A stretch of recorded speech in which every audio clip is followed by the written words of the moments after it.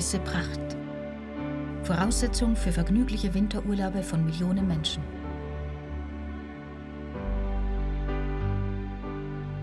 Bei in der Sonne glitzernden Schneekristallen und wunderbaren Tiefschneepisten denkt wohl kaum ein Urlauber daran, dass Schnee im Gebirge auch ein zweites Gesicht haben kann. Ein Gesicht, in dem sich Gefahr, Zerstörung und leider auch immer wieder Tod widerspiegeln. Österreich investiert daher pro Jahr rund 40 Millionen Euro in Verbauungsmaßnahmen zum Schutz vor Lawinen. Gefährdete Pisten werden für Skifahrer gesperrt.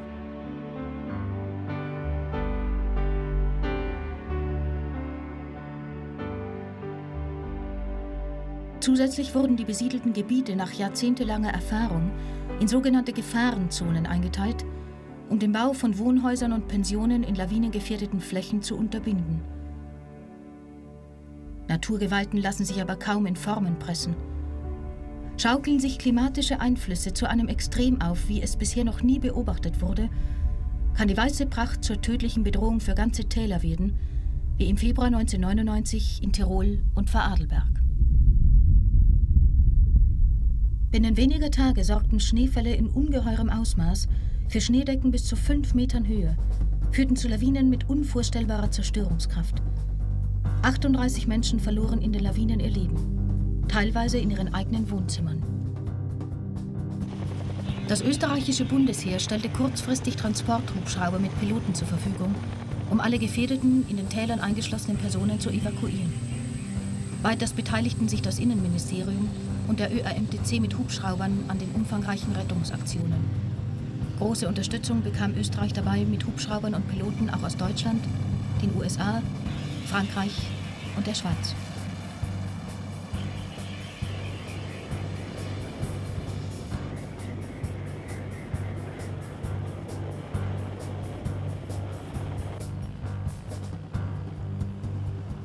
Eine Vielzahl an Helfern beteiligte sich sofort an der Rettungsaktion arbeitete Tag und Nacht bis zur völligen Erschöpfung. Durch ihre Hilfe konnten noch 24 Menschen aus den Lawinen gerettet werden.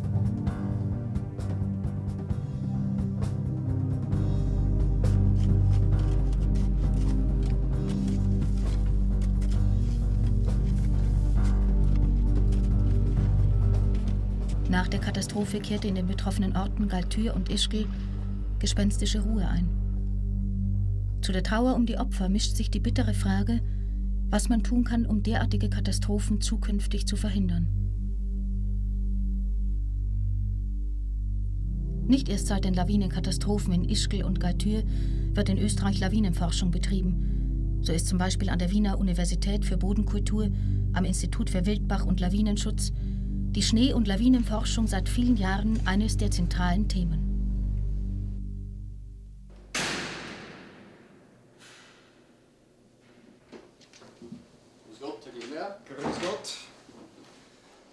Folgendes. Zeigen Sie mal her, ja.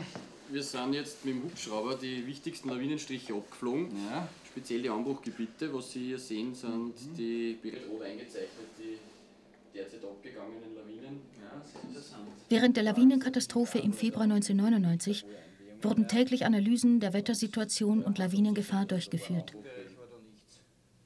Das Institut für Wildbach- und Lawinenschutz arbeitet vor allem im Bereich der alpinen Naturgefahren – Neben der Untersuchung von Hochwässern, Muren, Steinschlag und Erosion hat die Lawinenforschung eine zentrale Bedeutung. Oberstes Ziel der Tätigkeit ist dabei immer die Praxisnähe. Die Gewinnung der Daten im Gelände ist daher der Alltag in der Lawinenforschung.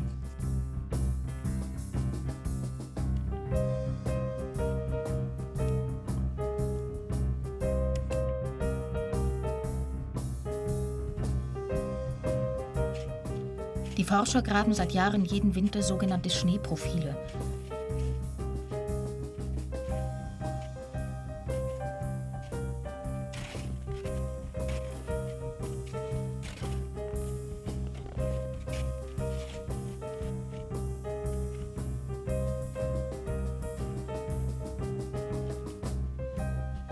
Dabei erheben sie Schneetemperatur, die Feuchte, die Dichte und die Kristallform in den unterschiedlichen Schichten.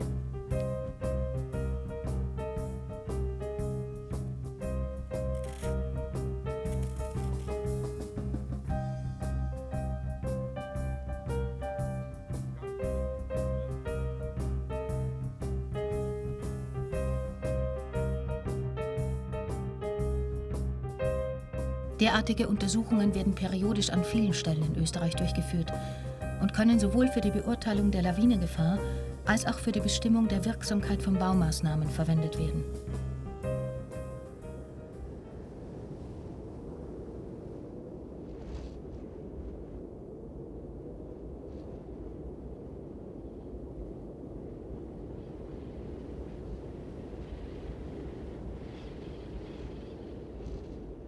Am Institut für Wildbach- und Lawinenschutz an der Universität für Bodenkultur haben wir im Fachbereich Schnee und Lawinen derzeit vier Forschungsschwerpunkte.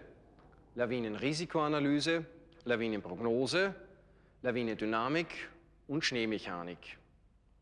Im Hintergrund können Sie eine kombinierte Verbauungsweise eines Holz- und Stahl-Schneestützwerkes sehen und Sie können weiters im Hangbereich oberhalb des Stützwerkes die Setzung mit unserem Schneedeckenmodell verfolgen. Untersuchungen werden durchgeführt, um die Kräfte zu berechnen, die von der Schneedecke auf technische Bauwerke wie Schneebrücken oder Schneenetze, aber auch Bäume ausgeübt werden. Die Simulation zeigt, in unterschiedlichen Farbtönen, wie sich die Schneedecke bewegt und deformiert. Sie können hangauf des Stützbauwerkes sehen, wie sich eine Druckzone ausbildet und hangabwärts in Grün- und Blautönen, wie sich die Zugzone ausbildet. Diese Analysen können nun in Zukunft dafür verwendet werden, Lawinenstützbauwerke besser zu gestalten und zu optimieren.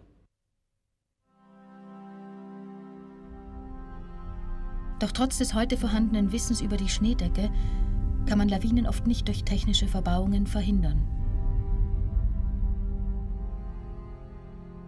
Nicht zuletzt deshalb ist das Studium der Lawinen selbst von großer Bedeutung. Durch die Analyse von über 200 Lawinen aus ganz Österreich soll die Grundlage geschaffen werden, die Gefährlichkeit der einzelnen Lawinenstriche genauer bestimmen zu können. Für die Lawinenforschung sind aber neben den Katastrophenlawinen auch die kleineren Lawinen, welche tagtäglich unsere Verkehrswege bedrohen, interessant. An der BOKU wurde daher ein Lawinenmodell entwickelt, mit dem sowohl kleine Fließlawinen als auch große Staublawinen berechnet werden können. Dieses Modell berücksichtigt neben der abbrechenden Schneemenge und dem Geländemodell erstmals die Schneeaufnahme während des Lawinenabgangs und liefert als Ergebnis nicht nur den Auslauf, sondern auch die Geschwindigkeiten der Schneemasse und die entstehenden Drücke. Für den Schutz von Verkehrswegen ist aber weniger die Frage interessant, wie weit eine Lawine geht, sondern vielmehr, ob sie überhaupt abgeht. Die Lawinenforscher entwickelten daher ein Computerprogramm, welches die gesamten aktuellen Schnee- und Wetterdaten mit den Geländedaten eines Ortes verknüpft und so den Abgang einer Lawine anhand des entsprechenden Geländemodells simuliert. Ein Prognoseprogramm berechnet die tägliche Gefahr von Lawinenabbrüchen auf der Basis aktueller Wetter- und Schneedeckendaten. Das Programm wird in der Praxis für die Sicherung der Speicherkraftwerke verwendet und hat sich im Winter 1999 bereits bestens bewährt. Durch die Kombination dieses Prognoseprogramms mit den Lawinenberechnungen wird es in Zukunft aber auch möglich sein, die Gefahrenzonen in den Tälern besser und exakter bestimmen zu können. Anhand von Erfahrungswerten entstand schon vor vielen Jahren ein sogenannter Gefahrenzonenplan für Österreich. Doch erst durch gezielte Schnee- und Lawinenforschung im In- und Ausland konnte dieser Plan optimiert werden und wird auch weiterhin noch verbessert. Jetzt können auch Maßnahmen des temporären Lawinenschutzes, sprich Evakuierungen, Sperrungen und Lawinensprengungen, besser umgesetzt werden. Mit Besiedelung der Gebirgstäler nahm der Mensch die Herausforderung der Natur an. Zu den größten Bedrohungen gehören hier Lawinen. Viele Personen in einem engmaschigen Netz der Zusammenarbeit zwischen verschiedenen Forschungsstellen, Warndiensten und Einsatzzentren sind dabei die Verbündeten der bedrohten Menschen. Verbündete in einem steten Kampf, bei extremen Witterungssituationen immer wieder begleitet von Katastrophen und Rückschlägen. Doch es liegt in der Natur des Menschen, nicht aufzugeben, aus Katastrophen zu lernen, Schäden zu reparieren, sich für die Zukunft besser zu wappnen und die Herausforderungen stets aufs Neue anzunehmen.